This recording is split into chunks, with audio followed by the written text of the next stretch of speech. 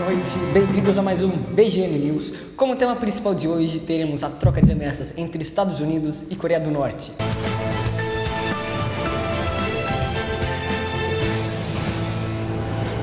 A China já admitiu que uma guerra pode começar a qualquer momento na região.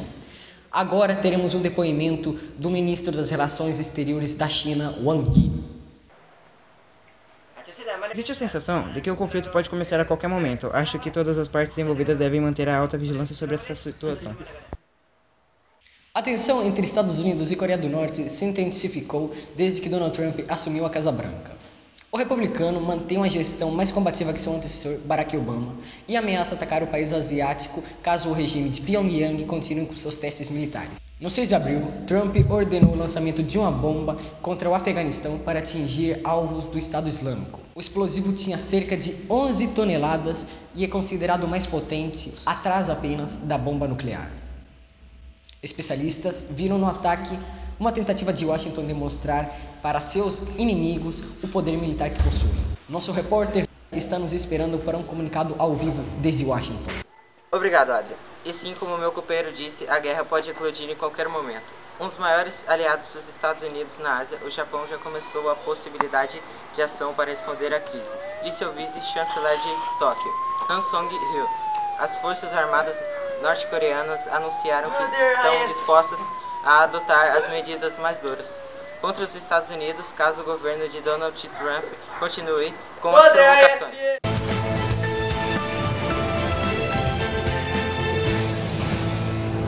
Na Itália, já chegou a 250 o número de mortes causadas por um terremoto de magnitude 6,2 escala Richter, que sacudiu o centro do país na madrugada desta quarta-feira.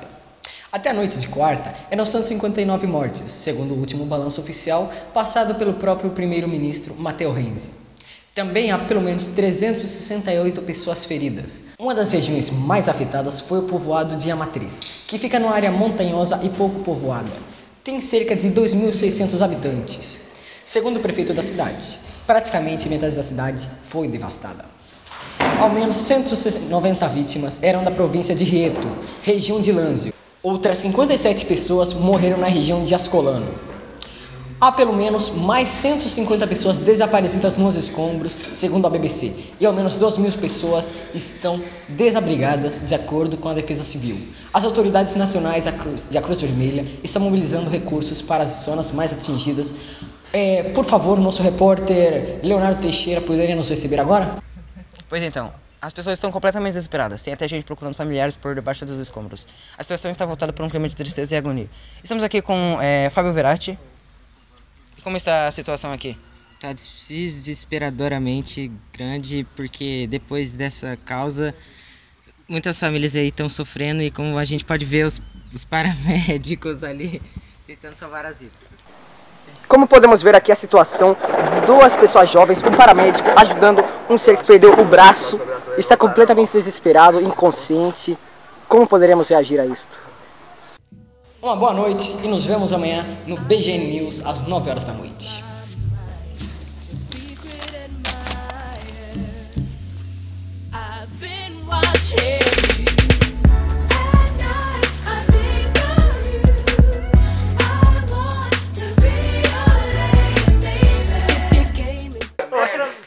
Espingarda, quer matar nós ali? Se liga no olho Abaixa o tiro. Não, se vira aí. Aí, ó, vai, vai, vai, vai. Você colocou errado, tio. Ah, meu Deus. Vai, vai, vai. Vai, mano. Tem que gravar logo. Calma aí, calma aí, calma aí. O celular tem que tá aí, né, mano? Tem que estar o celular aí. Não, velho. Por isso que eu quero. Deixa eu dar uma. Mas não atenção. Ah, não, atenção, não.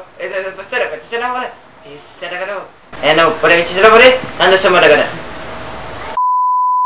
Calma, calma, volta de novo. Que de... Vai de novo. Vai. Pois, en... Peraí. pois então. Pois... Peraí, deixa eu deletar. Ouvi. Pode? Pois então, as pessoas... Tristeza e agonia. Então, como é que estamos aqui com... Então, estamos aqui com o Fábio Verratti. E como está a situação aqui na Itália? Tá muito desesperadora, tá completamente estranhamente. Ah, esquece. Como podemos ver aqui, há uma situação de uma pessoa que perdeu o braço e está totalmente desesperada. Começa de novo, mano. Sim. Aham. Aham. Obrigado, Adria. E sim como meu companheiro disse, a guerra pode. Claramente temos alguns. Umas crianças felizes aqui, mas a, a guerra pode eclodir em qualquer momento. E um dos mais. Não tá não. Vai tomar. no- Sim. Sim. aham. Obrigado, Adrian. E sim como meu companheiro disse, a guerra pode eclodir em qualquer momento. Um dos maiores aliados dos Estados Unidos na Ásia, o Japão já começou a analisar as possibilidades de uma guerra. Estudamos qualquer possibilidade de ação para responder à crise. Disse seu vice.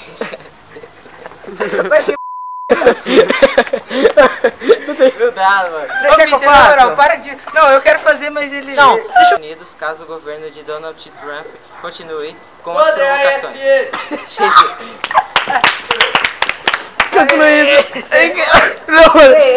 não queria ficar fazendo na câmera, mano. Você era Sendo que as cidades mais afetadas foram Acomole e Amatriz. Acomole! Acomole!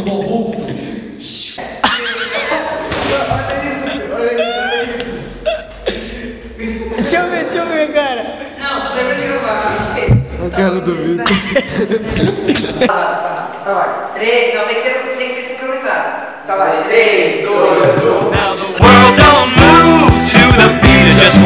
Just. What might be right for you may not be right for some.